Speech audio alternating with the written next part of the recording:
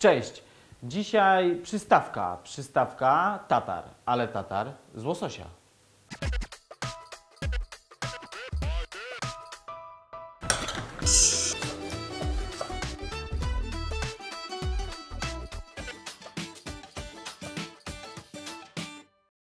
Tatar z łososia w stylu japońskim. Pierwsza rzecz, którą musimy zrobić, będzie to przygotowanie sezamu. Sezam musimy uprażyć. Lubię prażyć e, wszystkie pestki, czy to słonecznika, czy to na przykład orzechy nerkowca e, w piekarniku, ponieważ wtedy ciepło równomiernie otula jak gdyby dany składnik i fajnie go praży. Masz wtedy równomierną, fajną, chrupiącą skórkę na całej powierzchni. Więc sezam ląduje do naczynia żaroodpornego i wrzucamy go do piekarnika na jakieś 160 stopni, około 10 minut. Pamiętaj, że trzeba co jakiś czas tam zajrzeć, czy wszystko jest z nim ok. Zabieramy się za kolejne składniki, będzie to por. E, Por musimy przygotować w ten sposób, żeby go rozciąć na pół. I teraz musimy go umyć pod bieżącą wodą, e, żeby pozbyć się piasku. Por już umyty, pora kroimy drobniutko, wtedy on nie będzie wyczuwalny, a będzie oddawał smak.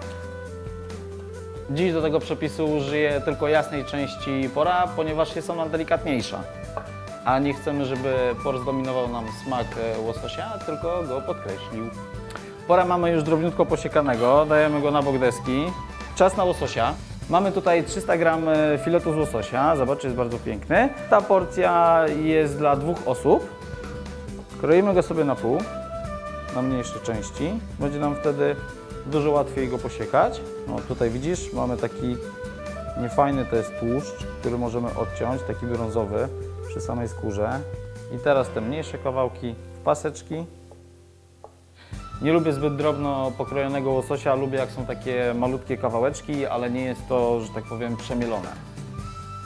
Ryba, z której możesz też przygotować tatar, to na przykład tuńczyk. Składniki będą bardzo podobne, tylko że do tuńczyka dodajemy też majonez, ewentualnie jajko e, i kolendrę. Majonez do tuńczyka dlatego, że jest on chudą rybą. Do łososia nie będę tego dodawał, ponieważ jest to tłusta ryba.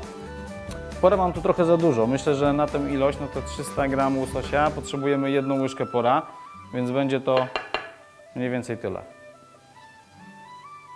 Składniki gotowe, sprawdź czym sezam czy już się Wam uprażył. O, jest piękny. Widzisz, jaki on jest super. Z- Nabrał takiego zł- złotego koloru. Sezam jak nam się spali, to jest gorzki, więc jak on się zjara, to po prostu jest nie do użycia, bo jest turbo niesmaczny. Dodajemy dwie łyżki uprażonego sezamu do łososia. Prażenie też ma na celu uwydatnienie jak gdyby smaku danej rzeczy, którą prażysz. Ja w tym wypadku mam sezam. Teraz kolejne składniki. Będzie to sos sojowy, dwie łyżki, sos chili z czosnkiem, sriracha tak zwana, jedna łyżeczka. I zapomniałbym o jednym składniku X, po który muszę iść teraz do spiżarni. Poczekajcie chwilkę, za chwilę, za moment wracam. Składnik X, y, czyli sake. Mówi się, że jest to wódka. Nie jest to wódka, tylko jest to wysokoprocentowe wino, które zawiera około 17-18% alkoholu w sobie. Wziąłem jeszcze cytrynę, która świetnie komponuje się z łososiem. Dodajemy sakę, jedna łyżka.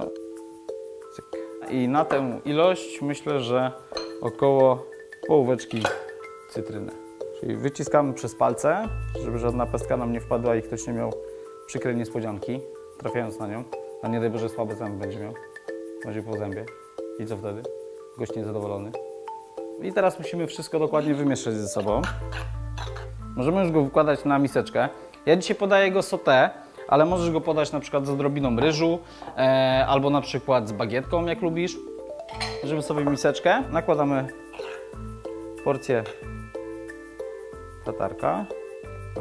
Dlatego staraj się przygotować tuż przed imprezą, ponieważ sezam, który jest w środku, e, im dłużej będzie stał, tym będzie mniej chrupiący. Hop. Mam tu pachnotkę e, oraz kiełki czosnku.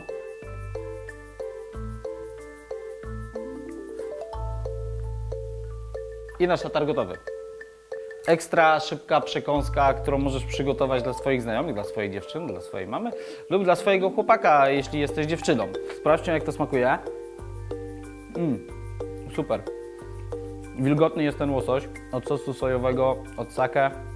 Delikatna ostrość od e, sosu sriracha. Chrupkość od sezamu. Pięknie wygląda, smakuje jeszcze lepiej.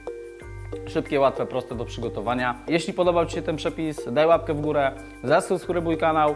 W komentarzach możesz pisać, co chcesz, żebym dla Ciebie przygotował. Bądź z nami, bawmy się razem i do zobaczenia.